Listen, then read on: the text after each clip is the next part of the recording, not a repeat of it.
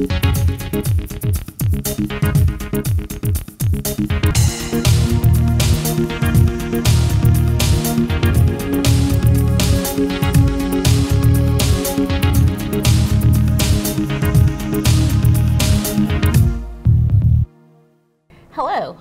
Angela Evans, your 6th District Council member, and today we have Shannon Smith from the American Heart Association here to talk to us about uh, healthy living and heart health and why it's so important to uh, women specifically, uh, but then all of Lexington. So, Shannon, thank you so much for being here. Thank you very much. I appreciate you having me. Absolutely. Well, first, I want to start off with um, some sombering or sobering um, facts, specifically about um, African American women, yes. which obviously is important to me about heart health. And unfortunately, um, I had a very fr uh, close friend pass away from a heart episode. Um, but I noticed such an important issue for all women, but specifically African American women, um, that statistics show, and I think I got these from from the, the website uh, from AHA, but um, African American American women specifically have twice as much risk as Caucasian women of a stroke. That that's true. It is true. Wow. And you're right. It is a staggering statistic, and I offer condolences for your yeah. friend. It's far too often we hear that story, and mm -hmm. there are things that we can do to help, um, you know, fight that disease and really reverse the effects that some of our lifestyle choices have on women and especially on African American women um, with the double risk that they, yeah. they have. And uh, I've been to a couple of the Go Red Excellent. luncheons. Good. We uh, love that. A couple of years, but uh, again, with women specifically, that you know the the um, I guess the signs of, of heart issues or um, episodes are different. You know, why is it so specific or important for women specifically to know and take more more care of their heart? And how can we we start doing that in our day-to-day life? Heart disease is the number one killer of women and we need to make sure that women understand how important their health is and the steps that they can take to um, to combat that disease and to prevent a stroke or heart disease from happening in the first place. So really reaching out to their physician, talking with their doctors, knowing the early knowing the early signs, the warning signs of heart disease or stroke uh, is very it's critical in in assessing that their own health. So really making sure that they're talking to their doctor, meeting mm-hmm. regularly, having their annual exams right. is very important. So, Shannon, can you tell us what your role specifically is at the American Heart Association and, and what AHA does in general? Sure. So I'm the Government Relations Director for the state of Kentucky for the American Heart Association, which means that I help direct policy. Policy okay. that helps people choose, make healthier choices. Right. Well, uh, we all need help with that because right. it's not an easy thing to do. the mission yeah. of the American Heart Association is longer, stronger, healthier lives for everyone. Okay. Nationwide, worldwide, citywide, statewide, everyone. And what I do is help to help legislators like yourself write and create policy and pass policy that helps that become reality, helps us encourage others to live a healthier, stronger lifestyle. Okay. So that's what I do specifically for Kentucky. Okay. And so, what are some of the things uh, specifically in Kentucky, in Lexington, um, initiatives or uh, programs that have come up that you've worked on or that, that are in place now that we, we know that yes, we're doing this not just because it sounds good, but there's yes. there's a healthy meaning behind it. Absolutely. Well, last year in the 2018 legislative session, we passed telephone CPR. Uh, which is oh. a, a, huge benefit for all of the community. You can call, anyone can call 911, and over the phone, they are taught how to do not CPR on anyone that needs to be uh, have that delivered to them. Okay. So that was a huge success, and that passed last session, 2018.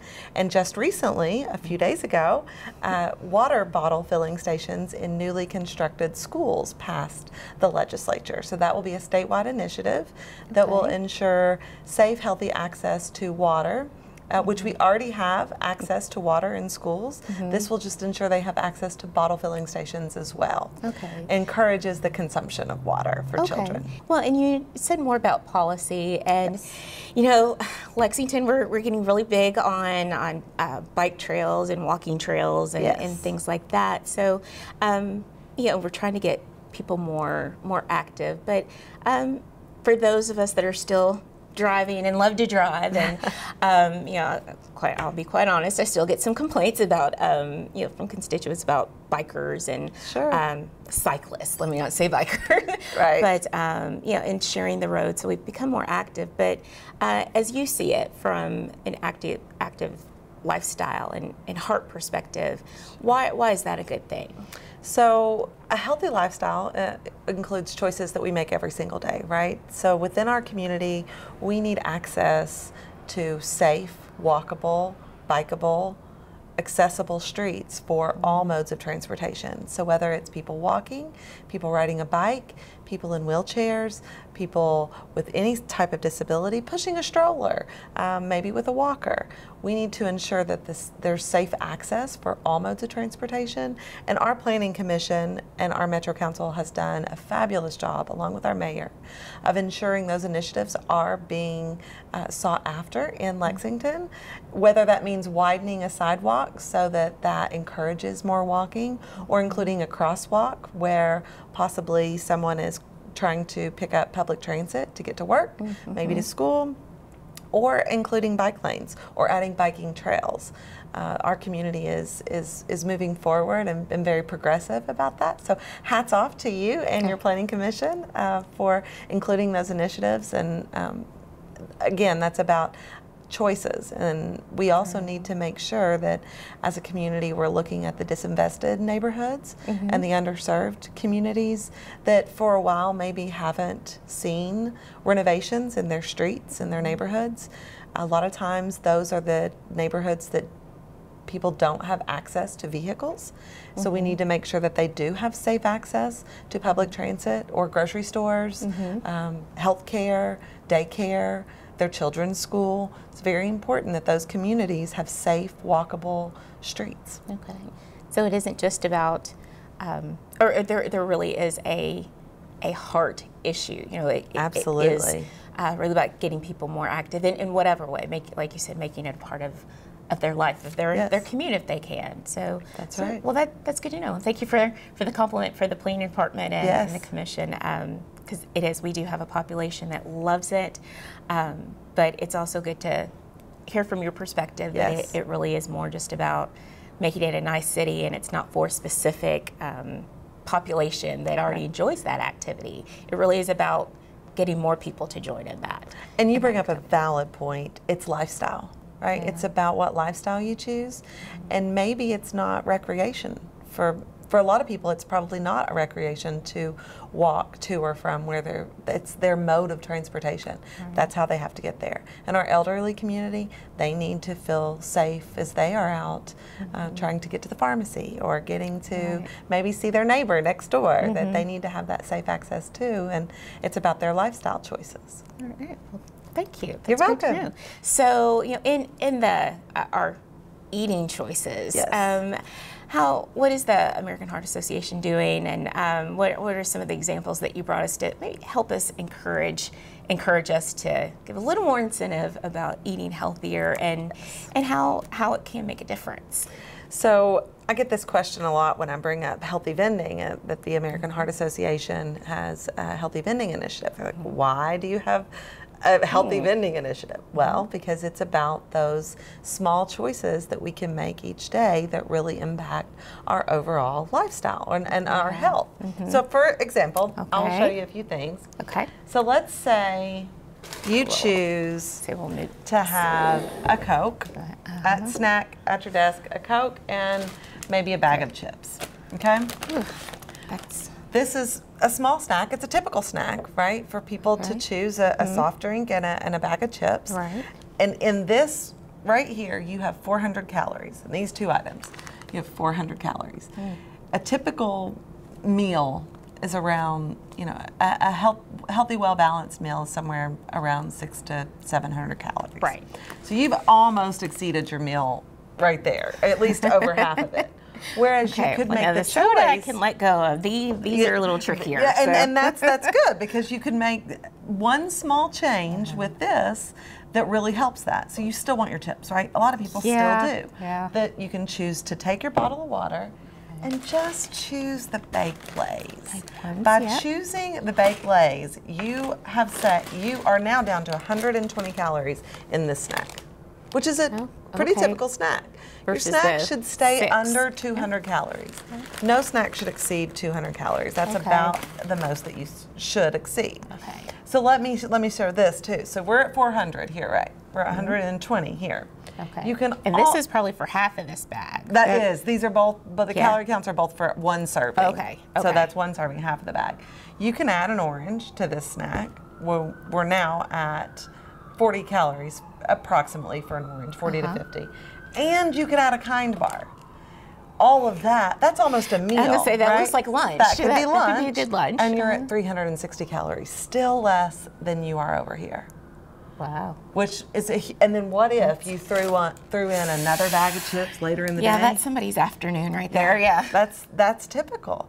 So Wow. if you take away some of the bad choices, just a mm-hmm. few of them, and you broke this up and had a bottle of water and a bag of chips, mm-hmm.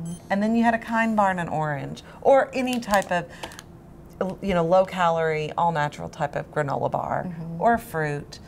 It's it's a choice that you can make that really helps, and Right. the healthy healthy vending initiatives tries to remove not all, but at least 75% of the bad choices and mm-hmm. replace them with better choices. Okay. So healthy vending usually leaves about 25% in case it's that day that you just, Just have to have your need Doritos. something. You need your Doritos, Okay. you need your uh, Coke for that day. Mm-hmm. It leaves those in there for those options. So small decisions like that can really affect your overall health and and weight. You know, obesity in mm-hmm. Kentucky. Um, the United um, United Healthcare released their national health rankings. We were 49th. Kentucky was 49th. Oh wow. It's really bad. Our our smoking, our disease diseases from smoking and obesity. It's really plaguing our state. And small choices. If you can save 400 calories a day, okay. you know that that really gets at that weight of things. Right. So well, and we talked about this before. So just to give a little more perspective, um, what what would it take to burn off like Oh, yeah. 400 approximately? Yeah. It's a how great many question. crunches? How many? so know, let's so on a typical, let's say 150 pound person, uh, for about 150 pounds, to burn 100 calories would take you about 15 minutes. So Okay. that puts that into a perspective of your 400 calorie snack over here is close to an hour of vigorous activity just to burn off your snack and vigorous meaning like cardio means or cardio. You are spinning, sweating. You are sweating not. It's not a leisurely walk, Okay. right? So a typical spin class, a 45 minute spin class, is somewhere between 400 to 450 calories, and that's that's kind of the highest intensity you can. Uh, one of the Yeah. that you can get to with calorie burn. So when you put it into that perspective, right, it really makes you think. Well. Yeah. how, long am I going to How much to? is it really worth? How many burpees do I have to do? Oh goodness, burpees. you you said the bad word. I know I did. I said the B word Bad, on bad, the B word, television. it's I bad. apologize. Oh God! But no, that that is good to know, and, and Yeah. again helps us because th- these are things we you know we Yeah. know we've all heard. Um, you know, any of us that have you know tried to lose weight or you know change. Right. Uh, go to a healthier eating lifestyle. So these are things that we know, but it's always good to have the the reminder. That's right. And the extra incentive. Um, and fad diets, you know, come and go. right. But the lifestyle choices, those that's that's our goal, right? Is to promote those healthy lifestyles. Mm-hmm. That's active living, good food choices, you know, good access to health care, those sorts of things. Thanks. Okay. Thank you so much for being here today and sharing with us um, how we can do better and be better. And it's the small choices uh, that, that matter. So I really appreciate you for coming. Well, thank you. And About that. Councilwoman Evans, you are a true champion of our city, and I truly appreciate you and all that you do for the constituents and the encouraging of a healthy lifestyle and choices. And, and maybe you and I can Trying to keep encourage each myself other honest, together. right? That's right. Well, I appreciate you and what you do for our community. Well, so thank you. Thank you. And thank you for having me today. Oh, absolutely, my pleasure. And thank you all for tuning in to Council Comment. I'm Angela Evans, your 6th District Council member, and hope to see you soon.